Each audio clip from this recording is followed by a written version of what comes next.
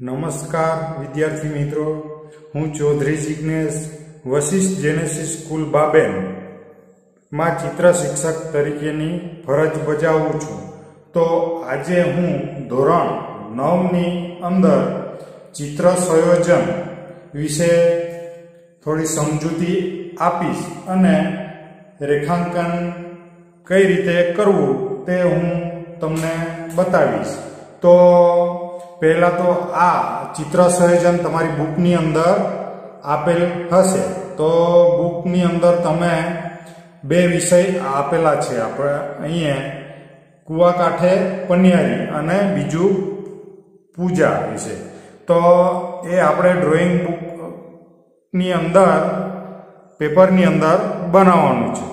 તો એની અંદર પહેલાં તો વીસ બાય પચીસ સેન્ટીમીટર માપના લંબચોરસમાં નીચેના પૈકી એક વિષય પર ચિત્ર સંયોજન બનાવી જળ રંગ પૂરો. તો બે વિષય છે કુવા કાંઠે પન્યારી અને બીજા નંબર પર પૂજા કરતી સ્ત્રી. બરાબર તો આ બેમાંથી કોઈ પણ એક ચિત્ર આપણે દોરવાનું છે. તો ચાલો, વિદ્યાર્થી મિત્રો, હું તમને ડ્રોઈંગ પેપરની અંદર બતાવું છું.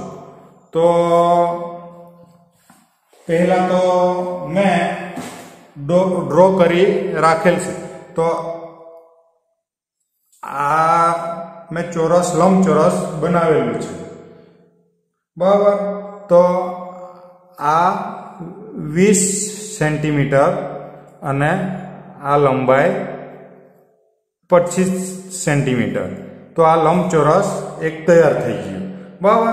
આ લંબચોરસ તૈયાર થઈ ગયું. એની અંદર મેં કુવાકાંઠે પનિહારી ચિત્ર સંયોજન. ચિત્ર સંયોજન. તો આ મેં ડ્રો કરી રાખેલું છે. તો એની અંદર આપણે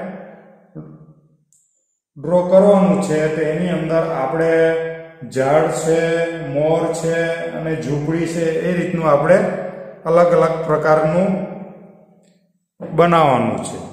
બરાબર? તો પહેલાં મેં પનિયારી બનાવેલી છે. તો ક્રિએટિવની અંદર હવે આના પછી આપણે વૃક્ષ બનાવવાનું છે. બરાબર?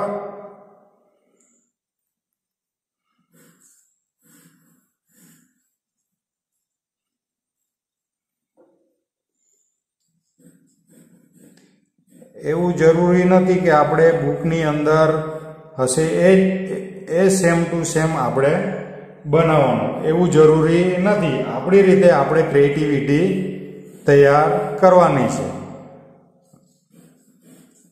ઓકે વિદ્યાર્થી મિત્રો. તો આ રીતે એક વૃક્ષ તૈયાર થયું. એની અંદર આપણે સરસ મજાનું જળ રંગ, એટલે કે પોસ્ટર રંગ, જે બોટલવાળા રંગ આવે છે, એ પીસી વડે સરસ મજાનું ચિત્ર આપણે તૈયાર કરવાનું છે. અને એની અંદર કલર થઈ ગયા પછી આપણે મસ્ત કેલિગ્રાફી વર્ક કરવાનું થશે. બરાબર આ એક વૃક્ષ થઈ ગયું. વૃક્ષની અંદર આપણે અલગ અલગ પ્રકારનું સ્ટ્રક્ચર આપવાનું છે. બરાબર?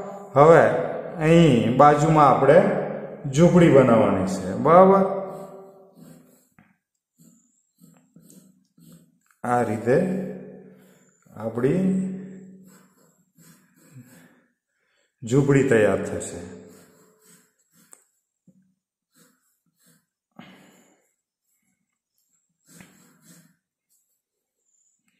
ઓકે, આ તો ઝૂંપડી, પછી આ ક્રિએટિવિટી છે. એટલે આ એક સુરજ તૈયાર થયું. બરાબર? આ ક્રિએટિવિટી છે. રિયાલિસ્ટિક નથી. ઓકે આ પ્રકારનું આપણે ચિત્ર ડ્રો કરી નાખવાનું છે, રેખાંકન કરી નાખવાનું છે. બરાબર? આ રીતે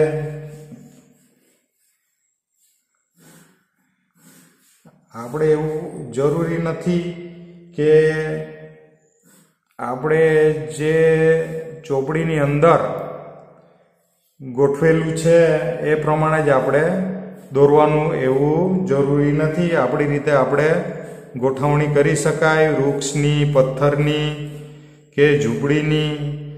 બરાબર. તો આપણે સરસ મજાનું એક રેખાંકન કરવાનું છે. અને રેખાંકન થઈ ગયા પછી આપણે રંગકામ પણ સરસ મજાનું કરવાનું છે. તો વિદ્યાર્થી મિત્રો,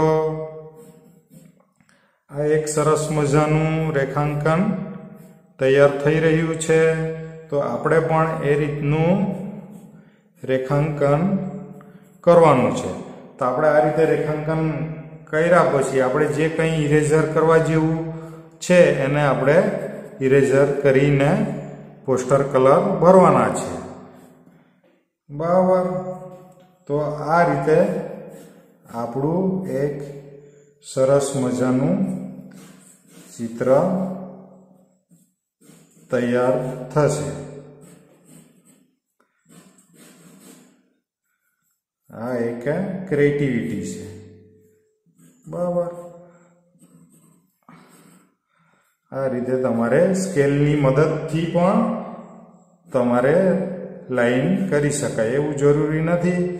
કે આપણે આ રીતે જ થવું જોઈએ, આપણે સ્કેલની મદદ લઈને તમારે લાઈન સરસ મજાની ડ્રો કરવાની છે.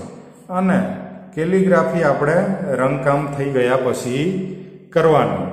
ઓકે તો વિદ્યાર્થી મિત્રો, આ એક રેખાંકન મેં તૈયાર કરેલ છે. તો વિદ્યાર્થી મિત્રો, તમે પણ એક ડ્રોઈંગ પેપરની અંદર કે તમારી પાસે ડ્રોઈંગ બુક હશે, તો એની અંદર તમારે આ રીતનું એક રેખાંકન સરસ મજાનું તૈયાર કરવાનું છે.